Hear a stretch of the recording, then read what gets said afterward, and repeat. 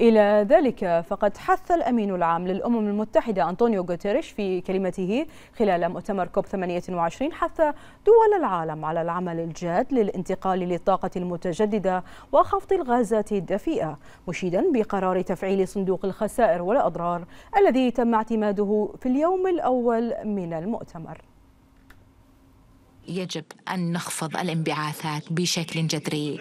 السياسات الراهنة ستؤدي إلى ارتفاع درجات الحرارة. علينا أن نضع توقعات واضحة من أجل الإسهام الاقتصادي من كل الدول وكل الأمم من أجل خفض الغازات الدفيئة بنسبة واحد ثلاثة فاصلة ثلاثة بالعشرة. يجب أن نخفض هذه الانبعاثات وأنا أحث الدول على أن تسرع من إطارها الزمني من أجل أن تحقق أهدافها في بحلول 2040 في الدول المتقدمة و2050 في الدول النامية. لا يمكننا أن نعتمد على الوقود الأحفوري. يجب أن نقوم بالانتقال إلى الطاقة المتجددة. العلم واضح. لا يمكن خفض درجات الحرارة بنسبة 1.5 من أجل إنقاذ الأرض يجتمع القادة والمسؤولون من 198 دولة على أرض الإمارات العربية المتحدة وتحديدا في مدينة إكسبو بدبي تحت مظلة مؤتمر الأطراف في اتفاقية الأمم المتحدة الإطارية بشأن تغير المناخ كوب 28 ياتي اجتماعنا اليوم في وقت يواجه فيه العالم تحديات عديدة ومن أهمها تغيير المناخ وانعكاساته التي تؤثر على جميع جوانب الحياة.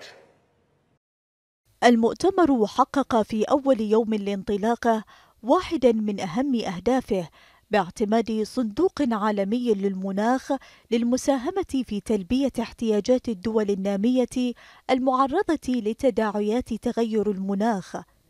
دولة الإمارات هيأت للحدث الذي يعقد تحت شعار نتحد ونعمل وننجز السبل اللازمة لإنجاحه وأعدت له أجندة غنية بالفعاليات وقامت بجهود استثنائية للخروج بنتائج إيجابية وقيادة حوار عالمي لإحداث نقلات نوعية على مستوى العمل المناخي الجماعي في المحفل الأكبر والأكثر أهمية من نوعه في العصر الحديث من حيث المشاركة القياسية وحجم التحدي الذي يمكن تجاوزه بالتكاتف لصالح الكوكب. إن العالم يتطلع بكثير من الأمل والتفاؤل إلى كوب 28 في أن يشكل مرحلة جديدة في زيادة تسليط الضوء على أهمية العمل المناخي وإعطاء دفعة كبيرة للجهود الساعية إلى تنفيذ التعهدات والالتزامات الخاصة بمواجهة التغير المناخي لتكون إرثا يمنح للأجيال القادمة.